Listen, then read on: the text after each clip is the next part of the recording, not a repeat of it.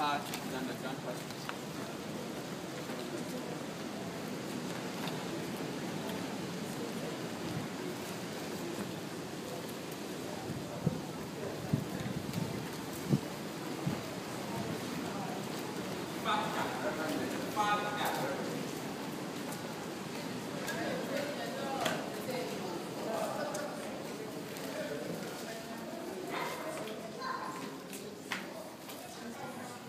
How often would they be moving people out of here?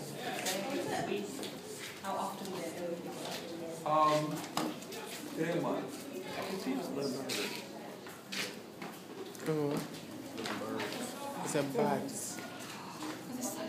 Right, my guest, end of the tunnel here, end of the tunnel.